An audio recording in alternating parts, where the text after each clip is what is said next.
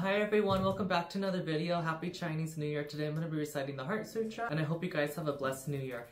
Avalokiteshvara Bodhisattva and practicing the profound Prajnaparamita perceived that the five skandhas are empty and thereby became free from all suffering. Also, Puja, form is none other than emptiness. Emptiness is none different than form. Form is emptiness, emptiness is form. The same is true with perception, conception, volition, and consciousness. Also, Puja, all dharmas are characterized by dependence upon causation. They are neither created nor they perish, neither defiled nor immaculate, neither increasing nor decreasing.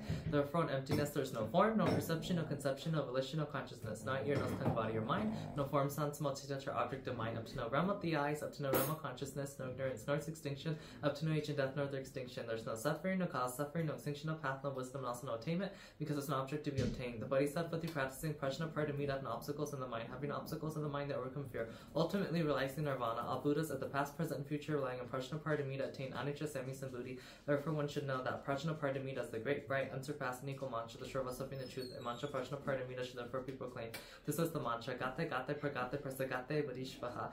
May all the mother sentient beings watching this video be blessed in Avalokiteshvara Bodhisattva's loving embrace, and in the name of the three jewels, Amin Namo Tofu, and hope you guys have a great New Year. Happy Chinese New Year.